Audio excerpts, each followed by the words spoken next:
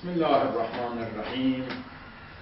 الحمد لله الذي هدانا للاسلام و جعلنا من المسلمين ولولا رحمت ربنا لكنا من الظالمين المضلين نحمده ونستعينه ونستغفره ونستهديه ونشكر آلاءه ونعماءه ونعوذ بالله من شرور انفسنا ومن سيئات اعمالنا.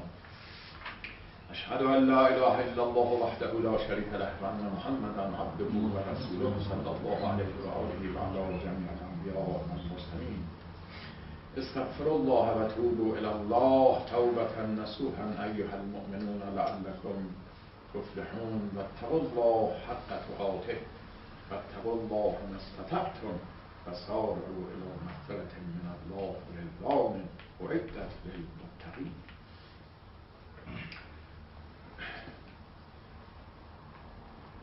موضوع دومی که در این خطبه می‌خوام ارز کنم اون این است که در قرآن کریم آمده بهشت و دوزخ هر دو ابوابی داره درهایی داره.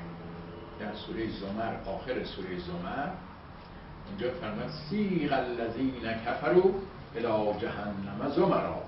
بعد می حتی فتحت ابوابها تا اینکه درها به روشون باز میشه وارد دوزخ بره در مورد بهشتیان هم همینطور گفته و سیغ الذین تقوا الی الجنت. زمرا تو اونجا حتی از فتحت ابواب پس بنابراین بهشت و جهنم ابوابی داره. یعنی گروه گروه هستن. هر دسته باید از یک در برن. متناسبه با عقاید و افکار و اعمال و اخلاق و رفتارشون خب. حالا عده از اهل تحقیق درهای بهشت و جهنم تو دل ما هم هست. از اینجا وارد اون ابواب میشیم. یعنی مثلا فرض کنید که کفر و شرک حرس و آز و از این قبیل صفات بد مضمومی که در ما هست کینه ورزی و اینها اینا درهای دوزخ هم که در دل ما هستن اگر وارد اینا بشیم این درها رو باز بکنیم و وارد اینا بشیم با حرس و آز و کینه و اناد و دشمنی و لجاج و بدخلقی و اینها زندگی بکنیم یعنی درش باز کردیم تو اونیم دیگه تو اون داریم زندگی می‌کنیم. این در به اون در راه داره به در دوزخ راه داره. و اگر به عکس در ایثار زندگی کنیم در اخلاق نیک زندگی کنیم در تقوا زندگی کنیم در پاکدامنی زندگی کنیم وارد در بهشت خواهیم شد. این در به اون در راه داره و تحقیق قشنگیه. به جهت اینکه خداوند متعال درست در برای دوزخ و بهشت گفته. ولی معلومه که بدون عمل که انسان وارد نمیشه در اونجا پس بنابراین بین عمل و اونها یه رابطه. حالا این تشبیه کرده این رو به ابواب و درهایی که در نفس خود انسان هست به که کفر و حرس و آز و نمی‌دونم این قضایان در دل انسان دیگه. این تحقیق قشنگیه. یه وقت دیدم که مستدرار در تفسیرش این تحقیق رو کرد. منتها بعضی از اهل تعویل خواستن بگم که اصلا اینا خودش در دوزخ و بهشته. ولی نه. اینا راهی است که به در دوزخ و بهشت میپیونده. ولی دوزخ و بهشت هم خیالی میشه. یه امر نفسانی میشه که فقط تو نفس ماست. و این عقیده بعضی از اهل تعویل و نمی‌دونم باطنی و اینها ممکنه باشه. پس بنابراین کوشش ما اینه که باید خودمون رو از نظر اخلاقی زیر و رو کنیم منقلب بشیم عوض بشیم. و به همین جهتی که تعلیمات دین مثل کتاب تعلیم کتاب فیزیک و شیمی نیست کتاب فیزیک شیمی فقط می‌خوان مغز انسان رو با یه فرمول هایی پر کنن. ولی این یوزکی هم و یعلمهم. می‌خواد هم تزکیه کنه هم چیز به آدم یاد بده. می‌خواد انسان رو پاک بکنه از اخلاق و صفات و و لذا مکتب تربیتی است. و یکی از اسرار تکرار در قرآن همینه. چون کتاب تئوری کتابی که متکی به فکر و نظر فقط تئوری که به اصطلاح اون فقط میگه و رد میشه. و باید حفظ کنی یاد بگیری. ولی کتاب تربیتی هی مسائل حساسشون مرتب به یادآوری می‌کنه تلقین می‌کنه تذکر میده هشدار میده تا انسان ساخته بشه. بنابراین یکی از اسرار مسئله تکرار در قرآن می‌تونه همین باشه. کتاب تزکیه و تربیت نه تنها کتاب تئوریک که یه چیز بگه رد حالا در تزکیه انسان هم باید تلاش خودش بکنه هم باید به خدا بسپره این خیلی مهمه که از خدا کمک بکنه. شما نگاه کنید پاکتر از حضرت یوسف صدیق دیگه کسی می‌تونه باشه؟ این قرآن تجدید ازش کرد وقتی که بعد از مجلس زلیخا از کنم که زنان به یوسف طمع بردن و هر کدوم پیشنهادی بهش کردن. پیشنهاد ملاقات دیدار ما می‌خوایم به تو ملاقات ملاقات با تو بکنیم.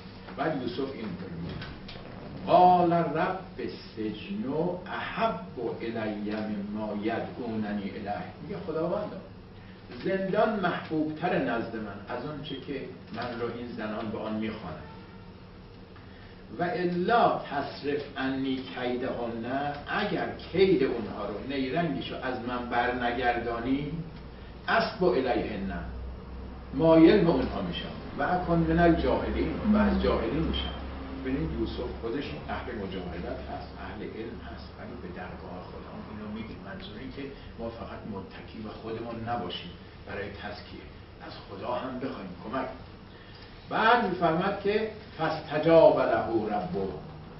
ربش استجابت کرد. جواب داد این دعای او رو. فصرف عنه کیدهن. کید اون زنان را ازش از یوسف برگردان.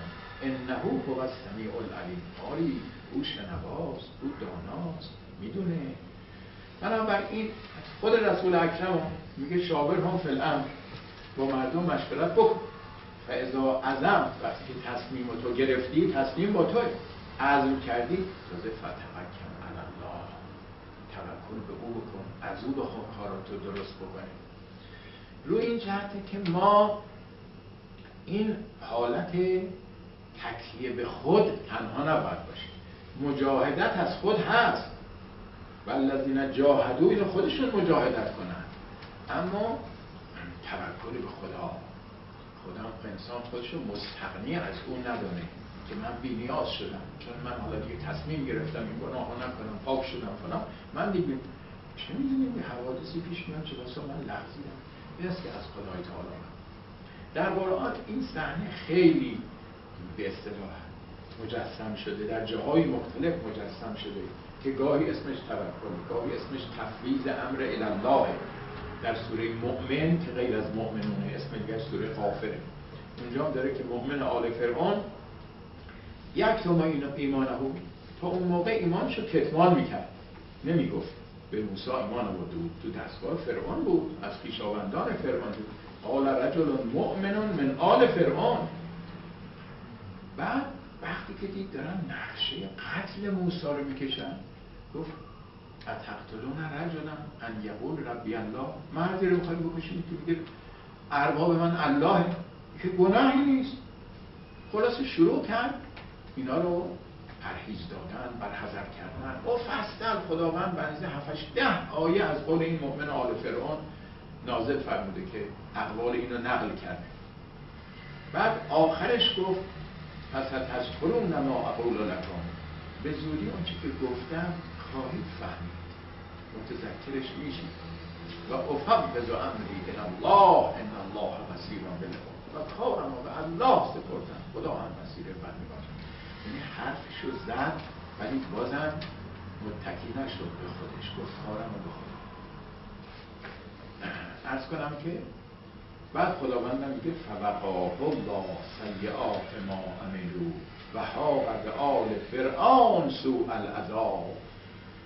خداوندم اونو حفظ کرد از اعمال بد اونها از کید اونها از نیرنگ اونها. و بدترین عذاب سوء العذاب به آل فرعون رسید به همون که دشمن این بودن.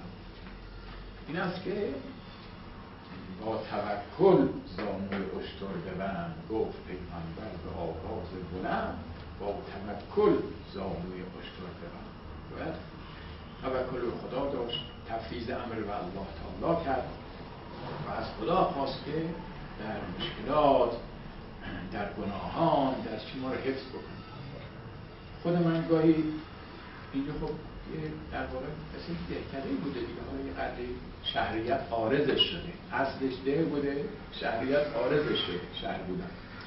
لذا خلوتتره قدری دور افتاده است. بگم وقتی که گاهی وارد شهر می‌خوام بشن میگم که اعیز و نفسی بالله الحمید البصیر من کل معصیه و من وساوسش خدا من داره وارد شهر قیبت تو این شهر هست زنای بد حجاب هستن تهمت هست برخورد با اشخاص ناجور هست. خدای من حفظ بکن پروردگار رو تو این شهر دارم وارد میشم. پر معصیته دامن از ما رو نگیریم معصیت ها. ما بشر عادی هستیم. نیفتیم تو این چاله. منظور من خدا نکرده تعریف کردن نیست. منظور این که انسان این کارو بکنه. از خونش که میاد برون پروردگار. به امید تو. هزار معصیت جلو پای من سبز میشه. هزار نافرمانی هست. تو خودت دست منو بگیر. حالا دارم میرم طرف مغازم دارم میرم طرف ادارم دارم طرف دانشگاه هم میرم. هر کاری که دارم. اینی که توکل به خدای تعالی و تفویض امر به او رو فراموش نباید. خدا انشاءالله أماكن والخير حقه للصعوبة له إلى الصعوبة إن أحسن الحديث كتاب الله إن الله يأمر بالعدل والإحسان وإيتاء ذي القربى وينهى عن الفحشاء والمنكر والبغي لعلكم يعظكم لعلكم تذكرون صلى الله على محمد وعلى آله